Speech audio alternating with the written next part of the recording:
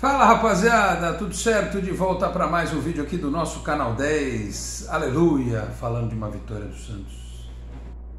Vitória do Santos 2 a 0 sobre o Fluminense na noite desta quarta-feira chuvosa. A água está para peixe na Vila Belmiro. 2 a 0 que tirou o Santos do Z4. Só não foi um pouquinho melhor porque o jogo do Bahia com o Ceará terminou empatado por 1 a 1 se o Ceará tivesse perdido, o Santos tinha ganho aí uma posição. Se tivesse tido um vencedor, né, o Santos teria subido uma posição no campeonato. Mas enfim, diante das circunstâncias, foi um ótimo resultado. Aliás, dois gols, né? Fazia tempo que o Santos não marcava dois gols numa partida. Então tiramos a barriga da miséria, pelo menos por enquanto, tá certo? Lembrando a todos que eu falo aqui em nome de Peter Leandro e Dani Haddad, Fisioterapia. Quer ter mais qualidade de vida e ficar livre das dores? Então entre em contato com o Peter ou com a Dani pelos telefones 13 997040944, 13 997827308. Conheço o trabalho também pelo Instagram, arroba Peter Leandro e Dani Haddad. E nesse nosso hall de recados, eu também já peço para você se inscrever no canal. Se você não é inscrito no canal, por gentileza, se inscreva, ativa aí o sininho para receber notificações, deixe o seu like no vídeo, compartilhe na sua rede social, no seu grupo do WhatsApp ajude o canal 10 a continuar crescendo. Você pode ser membro também aqui do canal, tá certo? Daqui a pouco tem mais recado. Muito bem, meus caros. Como eu sempre digo para vocês, eu não consigo ver o jogo da forma como eu gostaria quando é quarta-feira, às sete da noite. Aliás, eu descobri, viu, produtor, infelizmente, que aquele jogo que eu tinha programado levar você, que era contra o Bragantino e o outro contra a Chapecoense, os dois jogos vão ser na quarta-feira, sete da noite. É, vamos ver aí, né, para os outros, se o produtor consegue ir na vila. Nesses eu não vou conseguir também, mas se ele puder ir mais para frente, a gente vai junto. Uh, enfim, eu vi, né, enquanto estava trabalhando, o primeiro tempo, os primeiros minutos, até consegui ver o começo da partida, porque as coisas estavam tranquilas até, né? E vi um lance que eu fiquei assim, falando, caramba, era a hora da sorte bater na nossa porta aquela cabeçada do Madison que goleiro espalmou, bateu na trave e tal, né? E o Santos dando um, um atropelo, amassando o Fluminense no começo do ano, uma blitz, era a bola cruzada, era chute, o Fluminense não passava do meio de campo, o João Paulo foi um mero espectador na primeira etapa, e aí aquela coisa, a pressão, né, comendo solta, Aí o Santos perdeu um pouco do ritmo, né? Não dava para manter aquilo tão assim evidente, né? No começo do, desde o começo do jogo perdeu um pouco do ritmo, mas achou o gol, né? encontrou o gol. Achou não, não é nem o termo correto, precisa construir o gol. Isso é que é importante. E aliás, eu fiquei muito feliz, porque o Zanocelo acertou um passe eh, de meio campista, que é um passe que meio campista de qualidade acerta. Ele deixou o Madison na cara do gol. Aliás, essas comparações, né? Ah, porque que o Pará, não sei o quê. Meu, é por isso, o Madison quase fez um e depois fez um, né? O Madison ofensivamente não tem nem comparação com o Pará hoje em dia. Então, é, a gente tem que torcer para o DM e a fisioterapia manterem o Madison sempre bem com a questão crônica que ele tem do pubis para ele jogar sempre, né? E aí o Zanocelo me acerta um passe maravilhoso e o Madison aparece na área como um raio, né? De cabeça ali, bota a bola para o fundo da rede, a explosão da Vila Belmiro, é, com a torcida empurrando aquele caldeirão, aquela coisa fervendo, né? É, aliás, eu queria só aqui dizer um negócio antes de continuar falando sobre a partida, que todas as análises que a gente faz, elas são passíveis de acertos e erros, né? Eu, por exemplo, no jogo de, de, de, do América, né, eu fiquei assim no sábado um pouco de saco cheio, né? Porque tinha um cara atrás de mim mas que xingou o Zanocelo o jogo inteiro, mas o jogo todo, sabe? Um cara assim um pouco mais velho que eu, do alto, ele não sabia nem o nome do Zanocelo, né? E ficava lá assim, é, esse 25 aí, é 25, né, produtor, camisa do Zanocelo?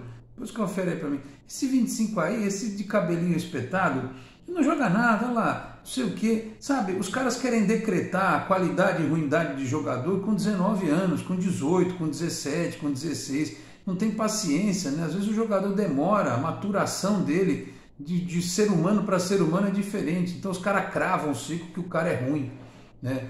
E não ajuda nada, sabe? Na, na hora que você está no estádio, não ajuda nada o cara ficar nessa vibração, nessa energia negativa. Olha lá, o cara é ruim, não sei o quê, né? Então fiquei feliz que o Zanocelo deu essa resposta, mesmo jogando numa posição em que todos nós ficamos extremamente preocupados. Aliás, essa é uma outra coisa que eu queria dizer. O esquema que o Carilli montou preocupou a todos. Todo mundo botou assim uma, um olho meio torto para o sistema, não para os três zagueiros, mas para o Marcos Guilherme de um lado, o Felipe Jonathan indo para o meio, e o, o Tardelli sem saber se era meia, se era centroavante, enfim.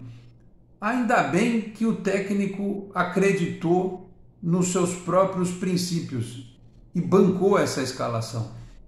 Aliás, a gente falou logo depois do jogo contra o América. Tem que jogar com três zagueiros, porque o Santos tem uns caras na frente que tem velocidade, mas não tem recomposição, não tem força, então você precisa ter aquela trinca. E o Robson Reis entrou muito bem no time para não ter esse tipo de preocupação. Então, assim, às vezes a gente faz uma crítica ao jogador sem ter paciência. A gente faz uma crítica ao esquema tático sem ter paciência. E às vezes a gente até pede para o técnico ser demitido. Né? Ah, e eu não sei até que ponto a pressão em cima do Carilho também não fez com que ele trabalhasse melhor. Né? Que ele, não é que ele não tivesse empenhado para trabalhar melhor. Mas sei lá, né? Às vezes liga um sinal de alerta. Eu mesmo pedi a demissão do Carilho aqui, é, porque achava que o Santos tinha que criar um fato novo. E criou com o Edu Dracena. Eu não sei quantos por cento é, da vitória podem ser debitados na conta do Edu Dracena, a saída do Mazuco e a saída do Jorge Andrade. É, não sei se nessa, nestas últimas horas o quanto isso interferiu na, no clima do time.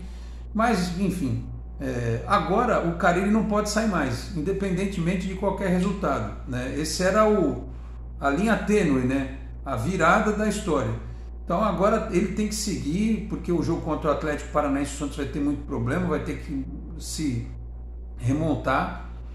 Tem muito desfalque, né? O Marinho e o Zanocelo tomaram cartão, o Velasquez, o Felipe e o Jonathan saíram com é, uma preocupação de ordem física de ordem médica, já tem desfalques, outros desfalques aí, então o Carilli vai ter que se virar para montar um time para pegar o Atlético Paranaense no sábado.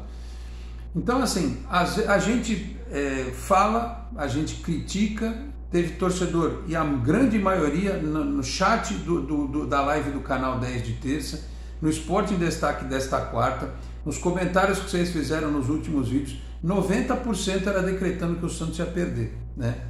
Então, de vez em quando, é importante a gente também mudar um pouco a vibração, né, a energia mental que a gente envia para os jogadores.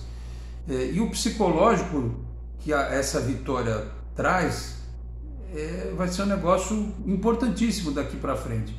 Porque a vitória contra o Grêmio, o empate contra o São Paulo não foram obra do acaso. O Santos jogou muito abaixo contra o América do que tinha feito em outras partidas. Né?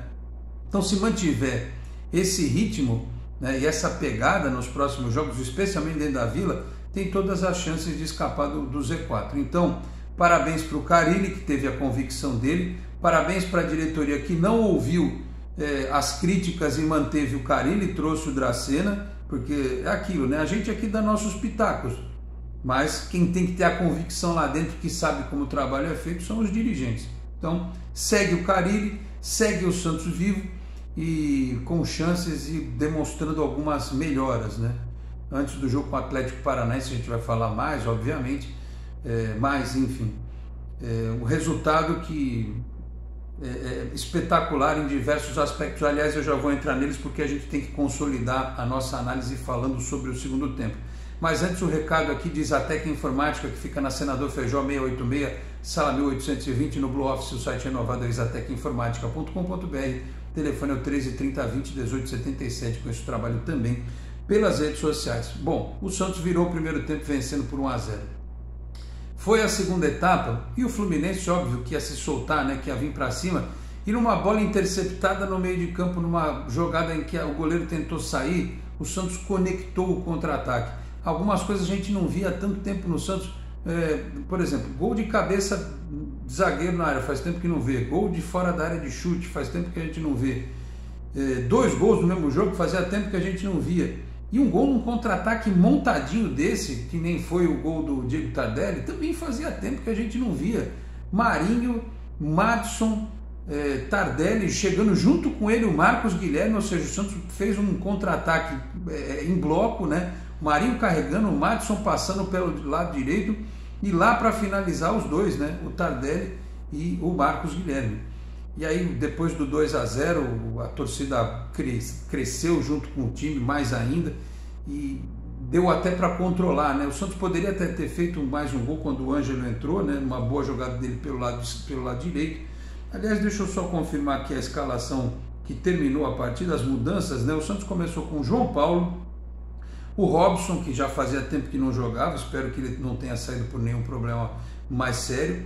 O Wagner Palha entrou no lugar dele, Velasquez e Bosa. Matson Zanocelo, depois entrou o Sanches, que é quando ele tem que entrar mesmo no segundo tempo, né, descansado e tal. Ele fez algumas boas jogadas, outras ele não foi tão bem assim, mas é o tempo que o Sanches pode ajudar o Santos, jogando 20 minutos, meia hora, enfim. Felipe Jonathan depois entrou o Balieiro, que deu mais pegada no meio de campo do Santos também o Tardelli, que não ia aguentar o jogo todo para a entrada do Raniel, é, o Lucas Braga, o Marcos Guilherme o Marinho, depois o Ângelo. Vejam, o Marcos Leonardo estava no banco. Como o resultado estava construído, o Carilho optou por colocar o, o Raniel e não o Marcos Leonardo. Ou seja, tem aquela coisinha do contrato do rapaz também aí é, em discussão.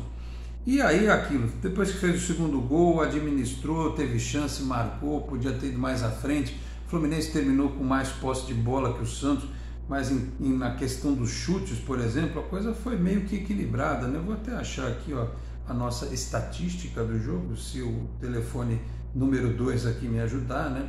De vez em quando ele me dá uma complicada. Mas assim, chegou uma hora no segundo tempo que eu vi que estava 55% de posse de bola para o Fluminense, mas até aí de posse de bola a gente teve um milhão no campeonato e não ganhou muitas vezes, né? Então, o que importa é ter menos posse de bola agora e ganhar a partida como o Santos ganhou. Enfim, para é, a partida de sábado contra o Atlético Paranaense. É, não, tá aqui estatísticas, ó. Caramba, o Fluminense chutou 17 bolas no gol, o Santos chutou 11. Só que o Santos acertou 5 chutes e o Fluminense 4. Na posse de bola foi 55 a 45, especialmente pelo segundo tempo que o Santos jogou no contra-ataque. Bom, para sábado contra o Atlético Paranaense, repito, Zanocelo e Marinho estão fora pelo cartão amarelo, estarão livres para enfrentar o Palmeiras no próximo jogo. Uh, preocupam aí alguns jogadores que saíram sentindo, né? o Felipe Jonathan principalmente. E aí, meus caros, não tem muito que discutir não contra o Atlético Paranaense. É meter os três zagueiros mesmo, é, talvez o Moraes jogar na lateral esquerda é, não se surpreendam se o Jean Mota voltar para o time, porque ele não tem opção né, para o setor, vai ser Balieiro, Jean Mota e mais alguém. O Pirani, o próprio Carilli disse, eu vi só um trecho da coletiva, não tem condição de jogar na próxima partida, ou talvez se o Sanches voltar a ser titular. Enfim, e aí você espeta lá na frente o Lucas Braga e o Marcos e o, e o Diego Tardelli, pode recuar também o Marcos Guilherme, enfim. Mas é aquilo, o jogo do Atlético Paranaense a gente se preocupa mais à frente. O que importa é que o Santos venceu, a luta contra o rebaixamento ainda é forte. O Santos é o primeiro time fora da zona de rebaixamento, mas o importante é que abriu uma pontuação interessante em relação a Grêmio e Esporte, embolou a briga, né? Tá lá embolado na briga contra o Bahia, contra o Juventude, contra o Ceará. A classificação estou vendo aqui, ó. O Santos foi a 32, com 28 jogos. É, São Paulo 34, Ceará 33, Bahia 32, Santos 32. O Santos só está atrás do Bahia porque tem sete vitórias, o Bahia tem oito. E o Santos abriu nessa brincadeira é, cinco pontos de vantagem para o esporte e seis pontos de vantagem para o Grêmio. Então, assim, repito, abriu vantagem para dois concorrentes, né? ou seja, mesmo que vá mal na próxima rodada, não pode ser ultrapassado e aí precisa é, ficar é, nessa briga, né, torcendo para que, por exemplo, é, se o Santos empatar com o Atlético Paranaense, por exemplo, é, tem que dar uma secada no Bahia na rodada. Deixa eu até olhar a rodada aqui. Vamos lá, vocês estão com tempo, estão com paciência, né? Vamos lá. O esporte pega o Bragantino nesta quinta-feira, né? Fora de casa. O Santos pega o Atlético Paranaense no sábado. Pô, tem um confronto direto aqui, meus caros, Juventude e Bahia. Né? Se o Bahia perder mais uma, o Santos é, pode passar o Bahia na, se vencer, né? Ou se empatar. O Juventude é a mesma coisa. Esse jogo aqui é um, um empatezinho lindo aqui, né? Aí tem América e Fortaleza, Grêmio e Palmeiras, Ceará e Fluminense, São Paulo Inter, Esporte, Atlético Goianiense, Cuiabá e Bragantino. É isso, continuamos fazendo contas, a briga lá atrás continua grande, mas o que importa é que o Santos conseguiu aí um poucos jogos, duas vitórias contra o Grêmio, agora contra o Fluminense, é, e precisa se voltar de Curitiba com pelo menos um pontinho e no domingo que vem, sem ser esse o próximo, contra o Palmeiras, 4 da tarde na Vila, que vai ser um jogo muito difícil, mas vai ser a Vila com 16 mil pessoas. Aliás, eu espero que os caras que reservam cadeira e ingresso e não vão, se eles não forem, dá a vez para alguém. Né? Dê a vez para alguém. O Santos precisa de todo o apoio do torcedor. Que alívio, meus caros. É isso, o Santos venceu e a luta continua, né? Tem muita gente remando contra, mas com essas mudanças, né, com jogadores voltando, com jogadores ganhando confiança, gente saindo do DM, aí daqui a pouco o Santos vai estar mais forte e a gente vai nessa luta escapar do Z4. Falei bastante. Produtor, tempo? É 16. 16 minutos, é isso. Falaria mais se estivesse numa live. Eu até pensei em fazer uma live, sabia?